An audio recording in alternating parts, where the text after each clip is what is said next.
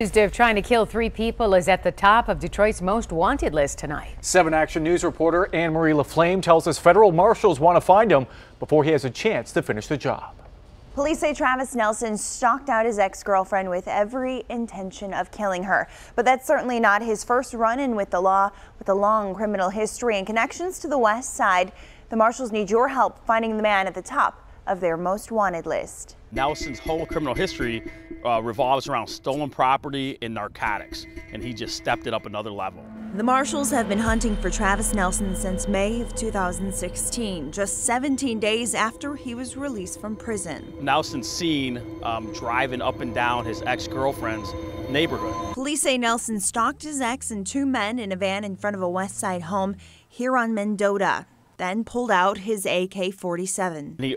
Unloads on him, shoots about 10 to 12 shots, Two of the people got hit, seriously hit, and the female got took shrapnel. So all three were hit in this car. Police say Nelson left them for dead, landing him at the top of the U.S. Marshals Most Wanted list. One of the rounds struck one victim, grazed his neck. I mean, he was trying to kill these people, and he didn't finish his job. So we're worried what's happening next. Take a good look at 28-year-old Travis Nelson. He's 6'3", 170 pounds with a large, distinct scar on the right side of his face. He's from Detroit's west side and should be considered armed and dangerous. Nelson's a career guy from Detroit. He's in the neighborhood somewhere. We just need to find him. Now, there is a reward for any information leading to Travis Nelson's arrest.